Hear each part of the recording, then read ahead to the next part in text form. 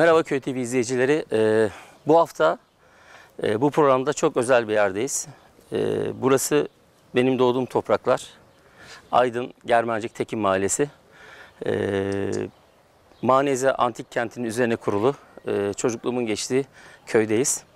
Ee, burayı bizim için özel kılan tabii e, doğduğum büyüdüğüm topraklar olmasının yanı sıra e, çok önemli bir özelliği var bu küçük e, aileme ait yerin.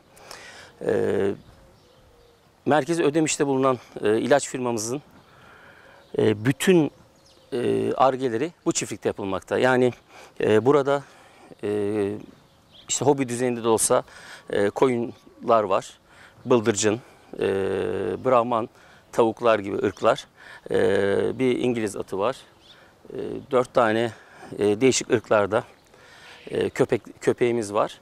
E, burası özellikle hani endikasyon e, geliştiğinde yaptığımız argeleri, yaptı, geliştirdiğimiz ürünleri denediğimiz çiftlik. E, başka bir şeyden de bahsedeceğim. Mesela burayı hep rol model olsun istedim. E, rol model olsun isterken hani üreticilerimize yaptığımız yayınlarda, e, televizyon programlarında ya da katıldığım, konuk olarak katıldığım programlarda da hep aynı şeyi söylüyorum. Kurulum maliyetlerinizi hep minimumda tutmanız gerekiyor. E, minimum e, ekipmanla paranızı mümkün olduğu müddetçe hayvan alımına harcayın. Çünkü bakıcısız ve kendiniz bakıyor iseniz hayvana e, bu hayvanın e, sizi geçindirmesi biraz da niceliğe bağlı. Yani nedir nicelik dediğim? Yani hayvanın verim kabiliyeti, hangi ırktan olduğu bunlar nitelik. Ama sayı çok önemli. Bir işletmeyi, bir aileye geçindirecek sayı 50 ile 60 arasıdır Türkiye şartlarında. Siz eğer bir bakıcıyla çalışacaksanız bu sayı yüzü geçer. Yüzün üzerinde olmalı ki e, bu işten para kazanın. E, özellikle ben küçükbaş işletmeciler için söylüyorum. Büyükbaşta bu kriterler tamamen değişmekte. Ailenin e, verim yönü, verim kabiliyeti, istediği verim yönü, verim kabiliyeti orada çok büyük etken. Ete ya da süte çalışmaları ama hani küçük başta mesela burası e, bir süt ırkı, sütçü ırklar var burada, sakız koyunlar var. E, bizim coğrafyamıza çok uygun olduğu için, adaptasyonu da tamamladığı için e, burada bu tercih edildi. E, şu an arkamda işte koçlanmış e, koyunlar ve toklular var. E, bugün e, bir kontrol için buradayız. Daha önce e, işte yeleğimize attığımız e, koç yeleğini taktık. E, koçlama işlemini yaptık buradaki toklu ve koyunlara. E, yaklaşık iki hafta geçti. Koçumuzu bugün e, yani iki haftanın sonunda yani bu, bu haftada özellikle 15 ile 21 gün arasında 22. gün arasında tekrar e, başka bir renk yelekle e, sürünün içine bırakacağız. Buradaki amacımız şu. E, ilk e, yeleklemede boya alanları gebe kabul ediyoruz. Ama e, çiftleşme gerçekleşse bile e, eğer gebelik şekillenmemişse bu siklus yeni bir siklus gelişecek ve bu 15 ile 21 günü o yüzden tercih ettik. Bu arada yeniden e, kızışan koyunlar eğer gebe kalmamışlarsa koçta çiftleşecekler. Biz de bunu garantiye almak için yani kafamızda, planlamamızda e, bir ultrason olmadan, herhangi bir e, hekim desteği olmadan gebeliği e, şekillendirebilmek için yani şu tarihte gebe kaldı ve şu tarihte kuzularımız olacak gibi bir planlama yapabilmemiz için biz ikinci boyayı atıyoruz. Bu daha farklı renkli olacak. İşte mavi atmıştım. Bu sefer kırmızı olacak ve burada yapmaya çalıştığımız şey tekrar söylüyorum. İlkinde yani boya almış olmasına rağmen e, gebe kalmamış koyunlar şimdi yeniden koç alacak. E, biz eğer e, bu olayı da tamamladığımızda bir haftanın sonunda zaten e, boya almamışsa 15 gün önce gebe kalmış demektir. Boya almışsa çiftleşmiş ama gebe kalmamış. Şimdi gebe kalacak demektir. Eğer tekrar boya aldığında da onları yine bir 15 günlük kontrol grubuna ayıracağız. Ee, bir 15 gün sonraki siklusta yeniden kontrol yapacağız. Böylece koyunlarımızın ne kadar kısa zamanda e, koçlandığı, e, döl verimlerinin ne olacağı, bunların takibi, e, işte tasmaları var, tasma numaraları burada. Onlar aracılığıyla yapılmakta. Burada hem yapısal şeyler deniyoruz. Yani burada çok manuel, küçük e, bir aşı yolu denedim. Mesela burada ilaç uygulamaları yapabiliyorum. Onun dışında e, burada e, rasyon deneyebiliyorum. E, koyunların verim kabiliyetlerine bakabiliyorum. Onun dışında yine e, dinleyicilerimize hep söylüyorum. E, ilaç uygulamalarında ya da katkı uygulamalarında çok yararlı olacağı için e, mutlaka birazdan çekeriz. E, bir su tankımız olmalı ve e, hayvanlara e, kontrollü bir şekilde su tanktan gitmeli. Yani direkt şebekeye bağladığınızda e, suluklarınızı bu e, bize bir sürü dezavantaj getiriyor. Suyu kontrol edemiyoruz. Ama burada e, dezenfektan kullanabiliriz. Burada vitamin, yem katkı kullanabiliriz. Oral kullandığımız ilaçları su tankından gönderebiliriz. E, tabii bu ne demek? E, suluklarımızın da belirli bir otomasyon içinde olması demek. Bunların e, hiçbiri büyük maliyetler değil. Yani neredeyse bir koyunu harcamadığınız parayla e, suluk ve e, otomatik suluk işini çözebilirsiniz. E, yine bir kuzu fiyatına da yemlik olayını çözebilirsiniz. Yani ben burada işte e, manuel bir şekilde e, biraz da size de göster göstermek istiyorum. İşte e, korga borulardan kendi imkanlarımla yemlik yaptım. Çok da başarılı oldu. Yani kolay temizleniyor. E, mikrop tutmuyor, bakteri tutmuyor. Köşesi yok. E, ve koyunlar e, rahatça emleniyorlar. E, onun dışında ahşap otluklarımız var ki maliyetleri çok düşük. Yani kendiniz bile eğer biraz e, merakınız varsa ahşap işlerine kendiniz bile e, yapabilirsiniz bunu. E, hem yetiştiricilerimiz için, mevcut yetiştiricilerimiz için e, hem de bu işe başlayacaklar için e, bunları söylemek istedim. E, Şimdi koçumuzun e, yeleğinin yelek boyasını değiştirme zamanı. E, Şimdi birazdan içine gireceğiz, onu yapacağız. Bu arada müdahale etmem gereken e, hastalar varsa da e, burada müdahale edeceğim.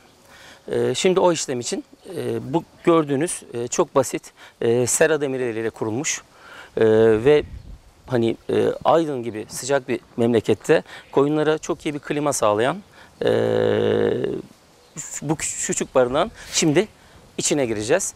E, bu arada e, sevgili dostum Murat bana beni asist edecek. E, koç yeleğini beraber değiştireceğiz. Değerli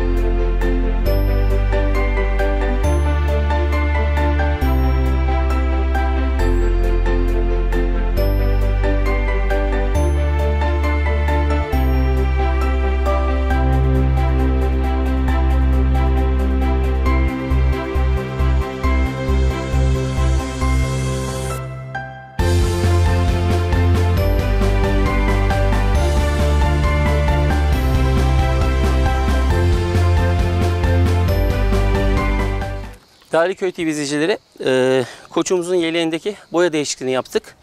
E, koç katımından 15 gün sonra ben bunu yaptım. Şu ana kadar e, koç koyunlarımız ve toklarımızdan e, koç alanlar oldu. E, ama e, tekrar hani siklus e, yenilenecek ve gebe kalmayanlar olursa e, bu 15 günün sonunda yeniden koç almaya başlayacaktır. E, bunların tespiti ve kesin gebeleri ayırmak için şimdi koçumuzu yine sürünün içine salacağız. Bu arada arka planda da göstermek istediğim e, bir su- suluk var. Bunlardan e, yeteri miktarda e, kullanabilirsiniz. Şu Efe'yi şöyle alalım. Bu arada 09 numaralı koçumuz bizim. E, bu Burada da bir otomatik suluk var. Bunlardan birkaç tane var. E, burada. E, çok basit. Yani evinizdeki herhangi bir varil, herhangi bir kova e, buna e, şöyle contalı ve geçmeli borular var. Bunu biz e, su tankımızdan e, paralel olarak şey pardon seri olarak bağladık. O şekilde döşedik. E, şamandıralıdır. Yani koyunlar su tükettikçe bu şamandırayı e, herhangi bir nalburdan alabilirsiniz. E, bunu tükettikçe top aşağı inmekte ve su seviyesi yine e, yükselmekte ve önlerinde bu şekilde sürekli su bulunmakta. Biz hiçbir şekilde e, koyunun içine e, girmiyoruz. Yani burada e, ailemde işte e, babam, annem ya da e, benim çocuklarımdan herhangi birisi burada kolaylıkla yemleme ya da e, sulama işlemini idame ettirebiliyor. E, dediğim gibi burada bir otluk var ve ahşap. E, bunları çok fazla kullanmıyoruz. E, bu da deneme yanılma bir şey. Yani otlukla ilgili değil. E, özellikle sap kısımlarını sevmediği e, bitkileri koyunlar altlarını almakta ve e, bayağı bir zayiat vermekte. E, biz bunun için biraz sonra e, size göstereceğim. Bence işletmede olmazsa olmaz. Yani yem zayiatını, bu ot zayiatı, kaba yem zayiatını engellemek için e, bir ot kıyma makinesi, ot parçalama makinesi var. Bu bizim otlarımızı 3 ile 9 santim arasında saman haline getiriyor. Ve bunu rahatlıkla önlerindeki yemliklere dışarıdan dökebiliyoruz. Ve e, bu şekilde koyunlar tamamını tüketmekte, hiç zayiat olmamakta. E, şimdi elektrik zayiatında sıkıntı olduğu için e, şey elektrik tesisatında yani burası bir köy e, tam düzensiz olduğu için e, biz e, biraz da seyyar olsun istediğimiz yere çekebilelim diye e, benzinli bir makine kullanıyoruz. Bunun elektriklisi, e, yakıtla çalışan, fosil yakıtla çalışanı ya da başka şekilde çalışanı vardır. E, yani siz bütçenize uygun olan, e, işletmenize uygun olan herhangi bir ot kıyma makinesini alabilirsiniz. Ben birazdan orada küçük bir işlem yapacağım sizlere göstermek için. Ve kaba yem e, yani ot sarf e, zayiatımız sıfıra indi. Yüzde kırklarda oluyor otlukta. Koyunlar e, ırka göre de değişiyor ama bazı koyunlar işte e, biraz daha nazlı yiyor. E, do- dolayısıyla hani otluktaki zayiatı kesinlikle sıfıra indiriyoruz. Bu şekilde kullandığımızda e, yüzde 40 gibi e, daha az değil yani emin olun e, bir e, telafat gördük. Bunun önüne geçmek için e, bu makineyi e, kullanmanız gerekiyor. E, burası bir aile işletmesi. Yani e, ben buraya sadece ilaç ve bazı uygulamaları e, denemek için uğruyorum. E, dediğim gibi benim aileme ait ama onlar da e, bu tavsiyelerle hareket etmekte. E, ve çok kolay, e, tamamen otomasyonlu e, ve nezih bir şekilde e, yaşları ileri olmasına rağmen burada hayvancılık yapabilmekteler. E, ben de bunu e, sağladım en azından e, bu şekilde e, bilgilerimizi buraya aktardık. Şimdi size ot makinesinin nasıl çalıştığını, nasıl kullanıldığını göstermek istiyorum. O tarafa geçelim.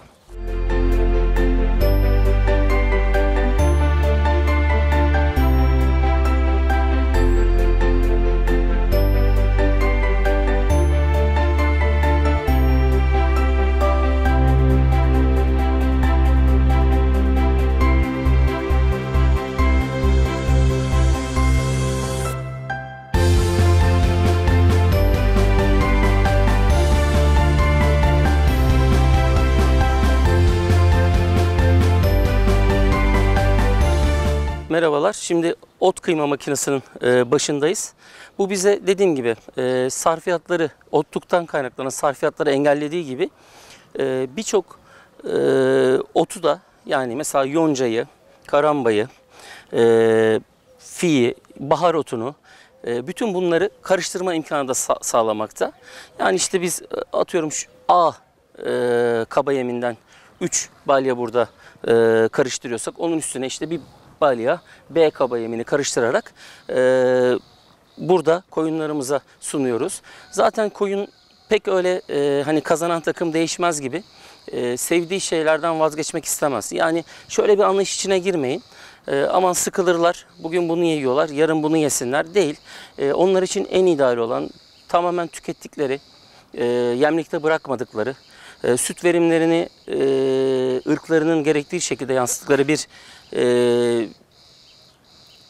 ka- karı, karışımımız varsa bundan e, vazgeçmemiz gerekir.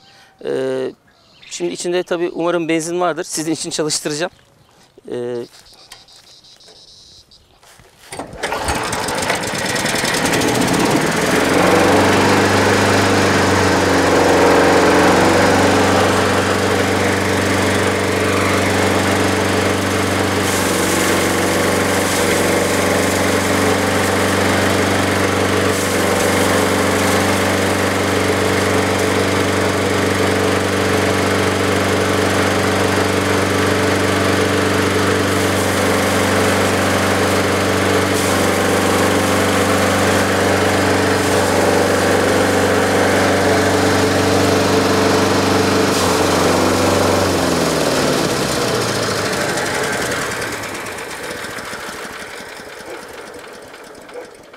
Şimdi e, bu makinelerin değişik modelleri mevcut.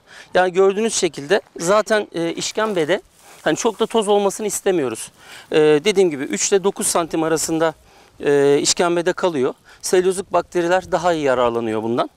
Ee, onların e, yani sadece zayiat değil bir de koyunların beslenmesi için de önemli bir duruma getiriyoruz. Bunları keyifle yiyorlar. Ee, birçok model var. Birçok e, e, güç kaynağıyla çalışan hani elektriklisi dediğim gibi yakıtlısı, benzinlisi falan.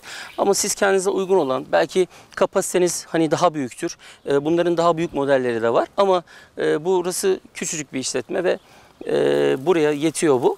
E, zaten yaklaşık bir saat çalıştırdığınızda burada e, 3-4 günlük e, yemleri çıkıyor. Şimdi bundan sonra biraz önce bahsettiğim gibi bana göre kaç koyunuz olursa olsun işletmenin olmazsa olması e, su deposu. E, gölge bir yerde olmalı tabii, serin bir yerde olmalı. E, şimdi e, onun yanına gidip biraz da e, su ile ilgili konuşalım. Hani nasıl bir avantajı var? E, bunları konuşalım.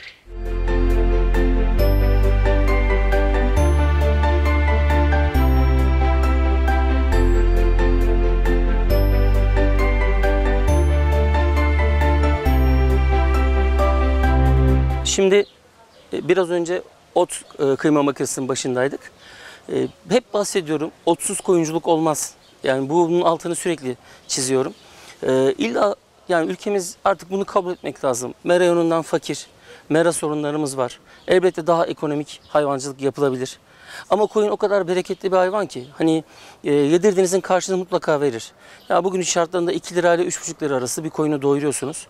E, burada biz sadece ot yediriyoruz. Yani e, işte yine aileme ait araziler var. Oralarda ekim yapılıyor. Burada köylümüz e, yem bitkileri ekiyor. İşte eksik kalanları onlardan tedarik ediyoruz. E, şimdi sadece ota dayalı yaptığımızda elbette toprağın yapısıyla ilgili e, meranın yapısıyla ilgili e, de diyebiliriz. E, izolement açıkları, vitamin mineral e, dengesizlikleri gelişebiliyor. Şimdi e, başında da söyledim. Küçük bir aile işletmesi olsun, çok büyük bir tesis olsun hiç önemli değil. Direkt şebeke suyunun e, koyunlara gitmesini istemiyoruz. Bu arkamda gördüğünüz buraya yetecek bir tonluk bir tank. E, genelde e, zaten e, vitamin, mineraller ya da ilaçlar bir tona şu kadar diye doze edilmiştir. Ve bu size bir dozlama kolaylığı sağlar. E, bir koyun yediği kuru maddenin, ihtiyacı olan kuru maddenin 4 katı su tüketir. Kuru madde nedir? Şimdi onu söyleyeyim öncelikle. E, yedirdiğiniz kesif yemden bahsetmiyorum. Yani enerji ihtiyacından, protein ihtiyacından bahsetmiyorum. Kuru madde, örneğin 100 kiloluk bir koyun yaşamak için 2 kilogram kuru maddeye ihtiyaç duyar. Bu e, büyümekte olan bir tokluda ya da beside %3,5'a çıkabilir. Gebe bir koyunda %2,5-3'tür. Şöyle örnekleyelim. Diyelim ki e, bir meranız var ve yaş otlar var. Bu otların yaklaşık %80'i su, %20'si kuru maddedir. Bu ne demek? 100 kiloluk bir koyun 2 kilo kuru madde için 10 kilo yemek zorunda sabahtan akşama kadar. Bu pek pratikte mümkün değil. O yüzden biz kuru otla besliyoruz ki kuru madde miktarı daha fazla, koyun ihtiyacı olan şeyi daha kolaylıkla alabiliyor. Yani 1,5-2 kilogram e, kuru ot yediğinde e, biraz da kesif yem takviyesi yaptığımızda aslında koyunculuğu becermiş ve yapmış oluyoruz. Şimdi bütün bunları e, bir yere not ettikten sonra su tankına gelelim. bu tank bizde manuel dolmakta, otomatik dolanları da var. Yani bunlara da bir şamandıra koyabilirsiniz. Ama bir tonluk bir tank uzunca bir süre gittiği için burada çok e, gerekmiyor. Şimdi buradan bir bağlantı yapıldı ve bu işletmede ikiye ayrıldı. Birisi biraz önce e, çekim yaptığımız e, koç ünitesine e, koçlama yaptığımız üniteye gidiyor. E, koyunların büyük bir kısmı şu an orada. Bir kısmı da e, sağım yapılan e, koyunlarımıza gidiyor. Ee, ve bir de koçumuzu ayırdığımız, koç işletmede ayrı olur. Yani koç katımından sonra koçumuz e, bir sonraki koçlamaya kadar ayrı bir bölmede kalacak. Koçun bölmesine gidiyor. Orada e, otomatik suluklar yapıyor. Orada daha az hayvan olduğu için çok daha küçük bir kap, altı duran bir kabı, e, bir bidonu e, yine otomatik e, su, suluğa bağlamak için bir basit şamandıra taktım. Ve yine orada e, hiç e, iş gücü olmadan, hiç iş yükü olmadan e, otomatik olarak e, sulanmakta. E, şu an sağım saati olmadığı için sağım makinesini basit bir şekilde e, size gösterdikten sonra e, işletmede bir başka e, anacımız, e, bir atımız var. E, size onu da onu da tanıtmak istiyorum. E, onun da beslemesiyle ilgili konuşalım. E, ne kadar bir alana ihtiyacı var, ne yapıyor? E, bu işletmede, hani dedim ya burası bir arge işletmesi. Bütün hayvanları ufak ufak e, burada besliyoruz. E, bu tabii bir hobi düzeyinde açıkçası burada ama e, bize ve bana göre ülkemiz hayvancılığa katkısı çok büyük. Çünkü e, bir ilacın e, etkinliğini yani ürettiğimiz bir ilacın etkinliğini test ettiğimiz ilk laboratuvar burası. Elimde seyyar bir sağım makinesi var. Burada koyun sayısı çok az olduğu için bu bir e, ikili sağım sistemi. Aynı anda iki koyun birden sağabiliyorsunuz. Seyyar e, rahatlıkla koyun sağılacak bölgeye gidiyor. Elektrikli ama e, genelde her e, iş bölmede bir priz var kullanabildiğimiz, rahatlıkla kullanabildiğimiz. Bunların yağlı ve kuru sistemi var. E, Biz burada yağlı sistem yani bir yağlama yaparak çalışan bir makine bu. E, sağım, sağım başlıkları e, küçük başa uygun, koyuna uygun. E, güğümde topluyor ve e, neredeyse hiç ama hiç havayla temas etmeden memelerin dezenfeksiyonu yaptıktan sonra e, süt bu e, çelik güğüme toplanıyor. E, diğer programlarda da söyledim, geçmiş programlarda da e, buradan işte e, mesela burada ailemle yaptığımız peynir kesinlikle ama kesinlikle koyun sütü olduğunu e, anlayamayacağınız, çok usta e, damak tadı olan insanların bile anlayamayacağı bir düzeyde. Bunun tek sebebi hani şu koyun sütü kokuyor, koyun peyniri kokar ön yargısı. Sadece koyun sütüyle biz burada peynir yapıyoruz ve e, bu e, sağım sistemi sayesinde. Yani işletme isterseniz bir koyun sağın, isterseniz 10 koyun, isterseniz 100 koyun. Ama elle sağımı artık bırakmamız ve terk etmemiz gerekiyor. Koyunlarımız çok rahat alışıyor makineye. O kilitleyemliğin şıkırtısına, e, makinenin sesine bunlara çok kolay alışıyor. Bir iki günde e, normal makine sağıma adapte oluyorlar. E, bu arada işte bir yemleme yaparsanız, ufak bir kesif yem atarsanız zaten bu adaptasyonu siz hızlandırmış oluyorsunuz. E, bu şekilde yaptığınızda koyun sütü kesinlikle kokmuyor. Yaptığınız koyun peyniri de kesinlikle hiçbir uzman tarafından sadece koyun sütünden yapıldı e, yapıldı algısını hani inandıramıyorsunuz. Şöyle hep inek sütüyle karıştırdığı için hep soruyorlar. Yani peyniri tattıktan sonra bu sadece koyun sütüyle mi yapıldı? Evet bu sadece koyun sütüyle yapıldı E, ve hiç de öyle koyun kokusu falan almıyorsunuz. Bunu sağım ünitesine borçluyuz.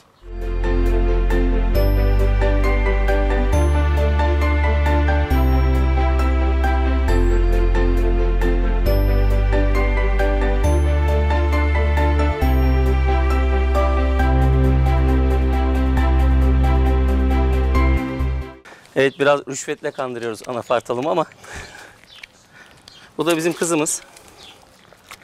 Ee, kendisi tabii yaşı büyük ee, bir koşu atıydı. Şu an annelik yapıyor. Ee, önceden tabii çok daha büyük bir e, alan istiyordu. Yaklaşık 8 dönüm at başı. Ama şu an işte bu 2 dönümlük arazide e, gayet mutlu. Onun dışında e, işte babam araziye çıktığında onunla beraber e, çıkıyor. E, bu rüşvetle ne kadar konuşturabileceğimi bilmiyorum ama e, kendisi biraz sıkıntılı.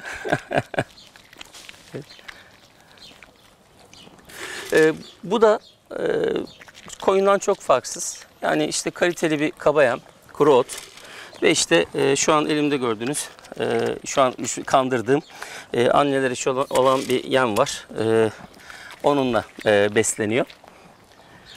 E, fırsat buldukça işte e, çayır, özellikle çayırı çok seviyor. E, yeşil ot da otlanıyor. E, yemliğinde genelde hep hazır ot bulunduruyoruz. E, doyuncaya kadar yiyor. E, suluğu yine otomatik bunun da. E, herhangi bir sulama gibi bir e, iş gücü yok. Yani öyle öyle görünüyor. E, normalde çok küçük çocuklarla da uyumlu. Ilımlı bir hayvan. Gayet sıcakkanlıdır. Bu da ailemizin bir parçası. Ee, aslında fırsat bulursak, e, ışığımız yetişirse size e, köpeklerimizi de göstermek isterim ama muhtemelen fırsat olmayacak. Ee, sadece kanatlarla e, küçük bir çekim yapabiliriz. Belki Alper ayrıntılarda yansıtabilir. Ee, Bu kız da e, bir çiftlikte. Normalde hani masraf olarak e, şöyle söyleyebilirim. E, bir köpek ne kadar masraflıysa size e, yan maliyeti olarak genelde bir atta şu an yani çiftlikteki bir atta e, o kadar e, maliyetlidir. Bu tamamen sevgi işi e, açıkçası. Ama e, şuna dikkat etmek lazım. Yani e, bir bu da bir evcil hayvan e, köpeğiniz gibi. E, ticari bir yönü yok aslında. E, karar verirken şuna dikkat etmek lazım. Ya bir kere e, sizin ailenizden bir parça olduktan sonra e, vazgeçmek çok mümkün değil. Ticari bir meta değil bu at.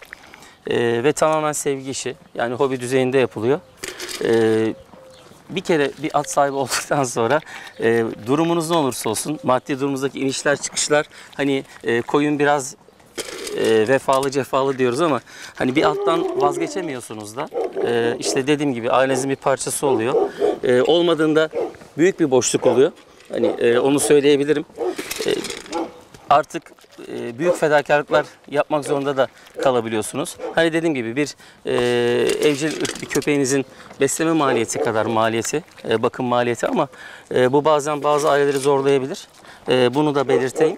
E, onun dışında gerçekten e, çok keyifli, e, çok da ayrı bir sevgi. Beraber ağlayabileceğiniz, beraber gülebileceğiniz bir hayvan. Durum bu. Hadi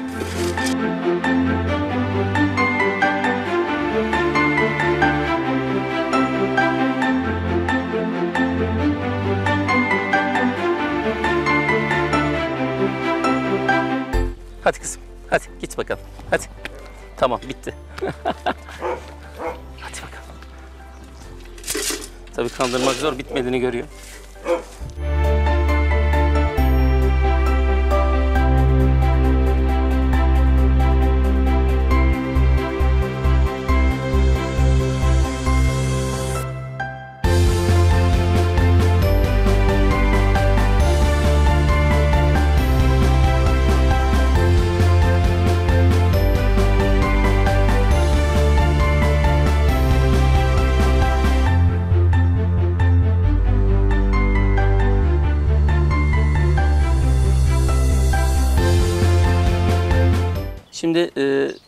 Özellikle kanatlı ürünlerini denediğimiz e, bir ünitedeyiz.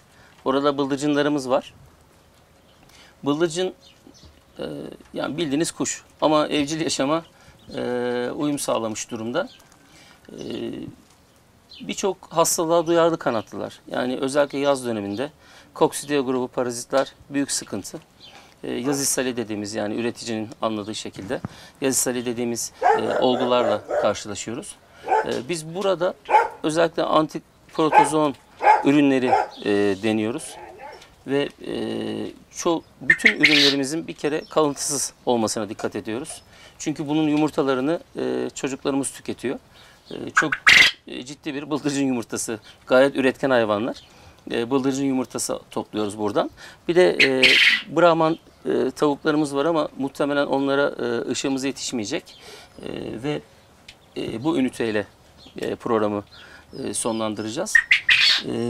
Dediğim gibi kanatlılar yani e, zooteknik koşullar eğer yeterli miktarda alan bırakırsanız ve barınaklarını düzenlerseniz e, solunum yolu enfeksiyonlarına çok fazla yakalanmıyorlar. Düzenli kanatlı aşılarını yaptırırsanız ülkemizde yaygın olan viral hastalıklara da e, yakalanmıyorlar. Ama aşılama çok önemli. Yani bunu profilaktik e, hekimliğin çok büyük bir parçası olarak görüyorum. Onun dışında dediğim gibi kan parazitlerine e, etkili etkin bir koruma yok ama kan parazitleri olduktan sonra da e, burada özellikle hani bu küçük bir gruptu. E, biz bunları aldık. E, genelde zaten bizdeki hayvan üremeleri şu şekilde. Hasta bir hayvanı aldığımızda ya da hasta bir grubu aldığımızda ondan sonra e, düzeldiklerinde bu şekilde e, hızla ürüyorlar ve sayıları artıyor. Bu, bu şekilde artıyor bizde en azından onu söyleyebilirim. E, bu yaz ishallerine karşı da işte özellikle bu koksidea grubu, koksidioz dediğimiz e, ishal etkenine karşı e, ürünlerimizi burada geliştirmiştik. Burası da bizim için e, özel bir ünite. E, bunu belirtmek istedim. Değerli